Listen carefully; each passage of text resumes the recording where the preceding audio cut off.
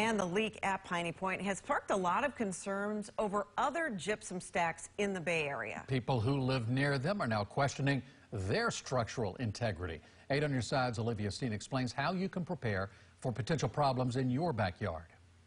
There are 25 gypsum stacks across the state of Florida, according to the Department of Environmental Protection.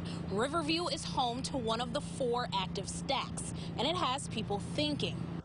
If it happened at one, what's happening with the breach could, you know, happen everywhere. Diane Preet lives a couple miles away from this gypsum stack on U.S. Highway 41 in Hillsborough County. Till this happened, I never gave it a second thought. Now her mindset is a little different. I'm really concerned because it's directly across the way what happens when that fails, or any operation for that matter. Environmental advocate Walter Smith with Sierra Club Florida says every gypsum stack across the state now needs to be reevaluated because what happened at Piney Point can't happen again. That's not even active.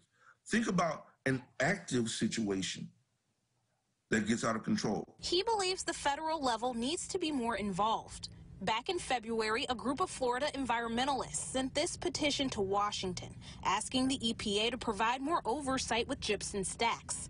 Hillsborough County environmental leaders tell me it's the state issuing the permits for these sites and conducting the quarterly check-ins. From local level to the federal, that every level is involved in the review and processing of everything that's going on here. But Smith says it can't just be the government doing the legwork. He believes corporations need to be more transparent about the risks of these sites, and communities need to educate themselves on what's really in their backyards. Must understand the hazard and what they need to do themselves to be able to protect themselves Smith is also an organizer with the Tampa Bay Disaster Resiliency Initiative. He says they are planning to provide more outreach and education to the communities where these stacks are located.